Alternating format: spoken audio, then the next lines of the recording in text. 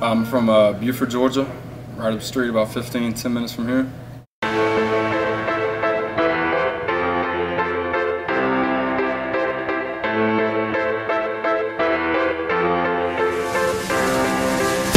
Drinking a German beer with a Cuban cigar in the middle of Paris with a Dominican bar.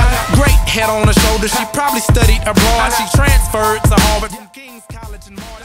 She says that I'm her favorite 'cause she admires Why are you at KPS? Um, I've been training with uh, Kaf for a long time.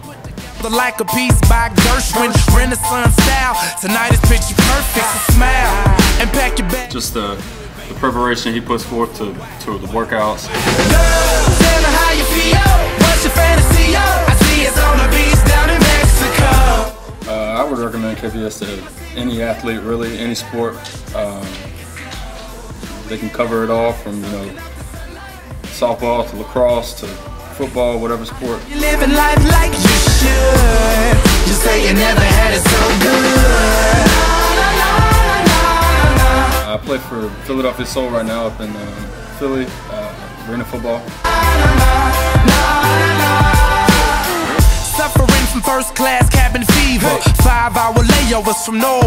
Thanks for not shouting Oh, dropped his phone. Hey, Brett. See? My phone's big. All right,